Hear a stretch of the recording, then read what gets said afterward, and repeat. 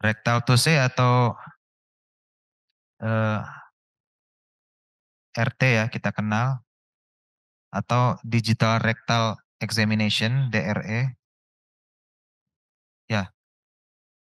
Pertama persiapannya pasien dijelaskan uh, tujuan kita mau ngapai ya dengan cara memasukkan jari telunjuk ke lubang dubur gunanya untuk menilai mulai dari prostat ya kelainan dalam rektum sampai fungsi saraf ya uh, terus kita buat inform consent kalau perlu baru uh, cuci tangan dulu ambil handscoon dan posisikan pasien. Posisi ada macam-macam. Cuman uh, ada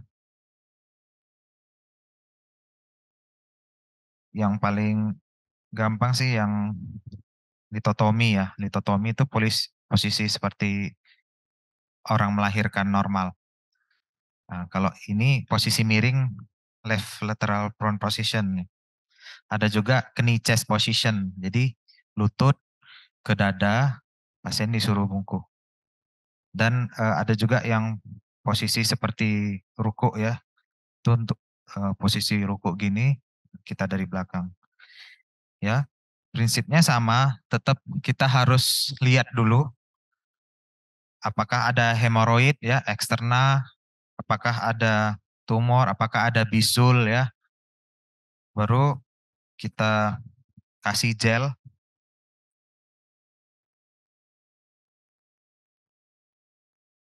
secukupnya di ujung jari.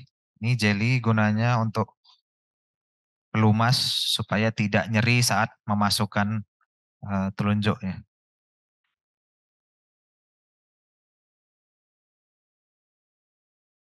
Ya, misalnya kita izin dulu, izin Pak ya, saya uh, lakukan pemeriksaan.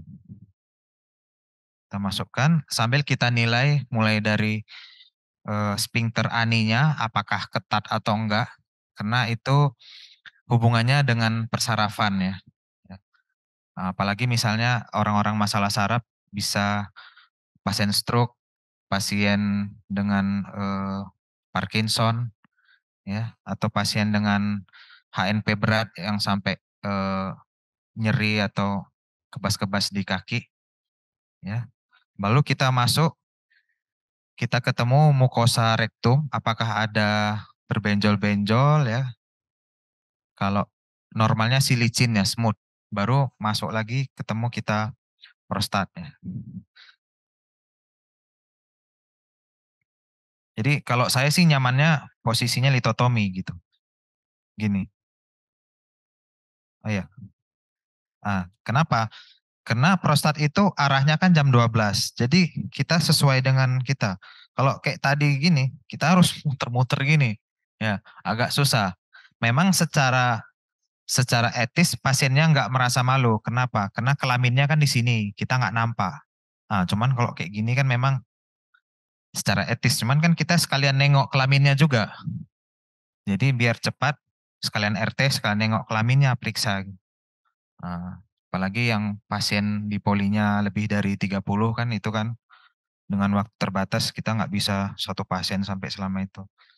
Lalu kita raba prostatnya arah jam 12 ya, bayangin di atas ini prostatnya. Itu kita raba eh, globus kanan kirinya sama atau enggak simetris. Terus kekenyalannya kenyal atau keras.